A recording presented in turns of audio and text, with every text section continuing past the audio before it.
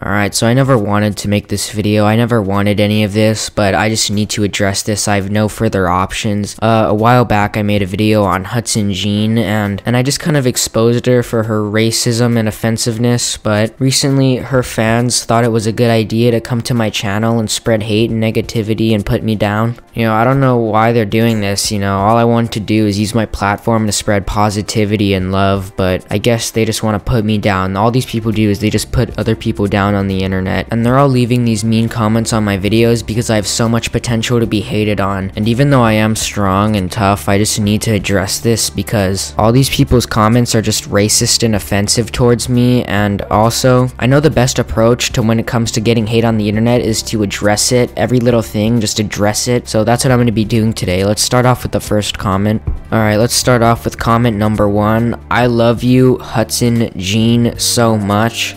And by saying that statement, you're pretty much just saying you support racism, which is not very poggers of you. Uh, next comment.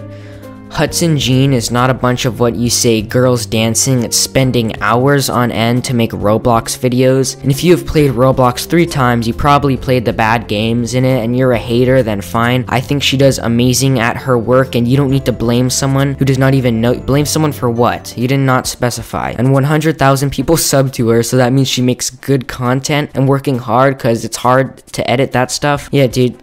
Okay, oh, god damn it. Okay, number one, I never called out her content. I said I don't understand the content, so I'm not gonna comment on it, so I didn't. I just explained what her content was. It is girls dancing to music, that's a fact. If you wanna watch it, that's fine, I don't blame you. But what am I blaming her for? And also, because of her sub count, that doesn't mean she makes good content. That being said, I never even criticized your content, so I don't see what her problem is. Two things. Has she ever done any physical things to hurt me? Yeah, Hudson Jean, dude, she touched me dude. She just came to my house and like, like, what am I supposed to say? How, do I? I can't make videos on her because she hasn't done any physical things to help hurt me or whatever. Like, why? Do, why are you even asking that? And then second, you're just promoting her channel. Thanks for that. Uh, I don't really care. I have 2k subs. She has 100k. I'm not promoting her channel in a positive way. I'm criticizing her actions because they're stupid and autistic. What's the next comment? There's one more that I wanna, you know, react to. It's really hurt my feelings. I think you need to question your channel is dying when you make videos about Roblox girls dancing. Uh, is my channel dying? I don't think so.